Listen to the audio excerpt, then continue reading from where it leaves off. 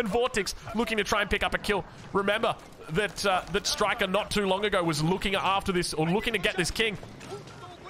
The king, the king's on the ground. He pops the movement speed though. He says, "Hey, I'll see you later. I got, I got a meeting to get to." The villagers. He tries for the block. He's keeping it alive. And the king gets onto the other side of the transport ships. He keeps himself alive a little bit longer. He wants to rebuild. He's got himself. He's got five villagers, and he's got a dream right now. Unless, unless Oh, the king gets again! The Gallius's turn! The Gallius's turn! All of the Royal Knights is going to try and get the snipe. The king gets out. It's down to 131 health, 86 health, and Striker takes out Salami.